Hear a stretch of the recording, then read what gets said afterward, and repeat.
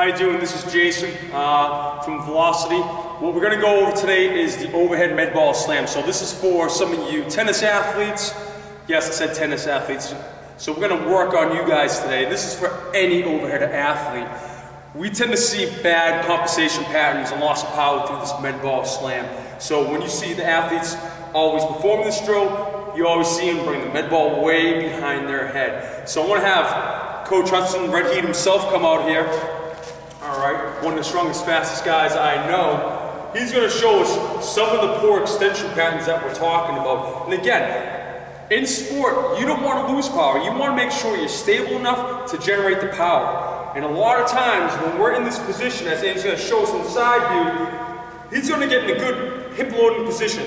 Again, just like Coach Kyle's video talking about hip hinging and progressions, we got to load through this pelvis or the hip. Now, again, he's going to show us the bad way, the extension, poor extension patterns through that lower back. So Andy's going to load it up. He's going to bring that med ball behind our head. From this position, position he's going to hold it. As you can see, we have a huge curve in that lower back. He's blowing out through the core. He's losing a ton of power and stability through that. You can bring it down. So what we got to make sure is that when we're coaching this up, we're cueing up the anterior part of that core. We're making sure we're staying tight. You don't want to open up and extend and pick up all that tension through that lower back. We're going to lose that stability in the hip. We don't want to lose that. So what we're going to do right here, again, Andy's going to get into a good hip hinge pattern, putting that med ball right in front of his hip. All right, so it's almost like we're taking that med ball and tucking that hip back. It's a good uh, mental cue for the athlete to sit back. If that ball's in, you actually try to jam it or push it back, that athlete's going to hip hinge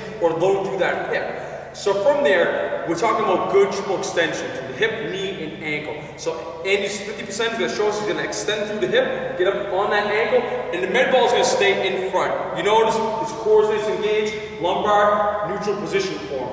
From there, he's going to slam down, decelerating through that hip, and try and generate the power through the core, torso, hips. So that's one of the most important aspects where you're not going to leak power out from that anterior front part of that stomach, all right? Because again, a lot of times we extend, not good. You're taking away a lot, you're leaving a lot on the table. This is Jason. I'll see you again soon.